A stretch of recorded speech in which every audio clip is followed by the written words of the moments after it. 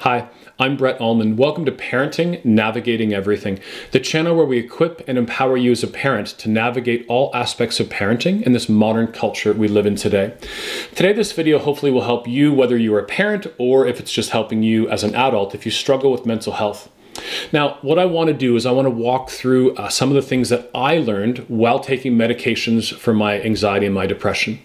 Number one, meds should not be the first thing you do for your mental health.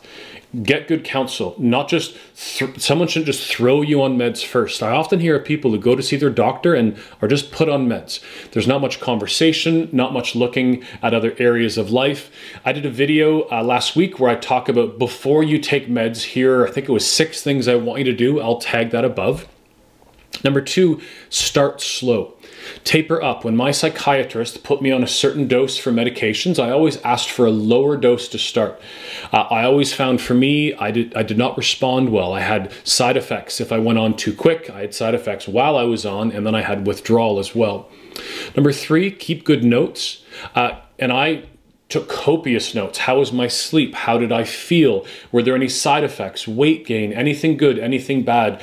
I journaled daily, and I am not a journaler, but it's really helpful to know where you were and then you can see where you are.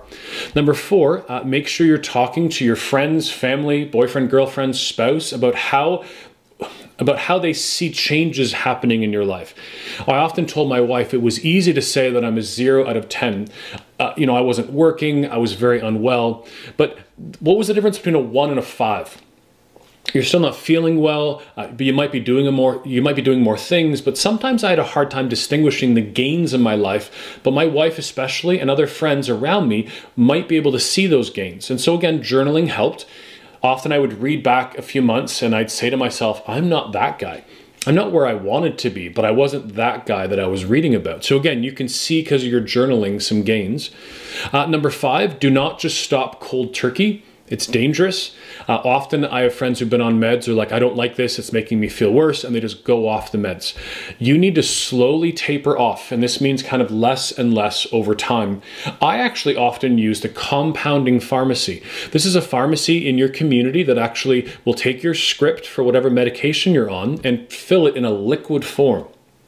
Then I used like an eyedropper and methodically tapered down for eight weeks, meaning if I was on eight of an amount on the dropper and then I do it for a week and I do 7.5 for a week.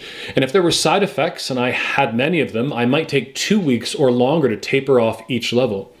Number six, uh, meds were not the answer for me, but they might have helped me. They might have helped me get back to work when I was off work for almost a year. And so meds were not the whole answer, but they were kind of part of my journey. I always say it's kind of like spokes in a wheel. It might be a spoke, but it might not be the whole wheel. Anyways, today I just wanted to give you a quick few thoughts on this. Love to know your uh, your own journeys, if you've experienced similar things or anything that I'm missing. I'll talk to you soon.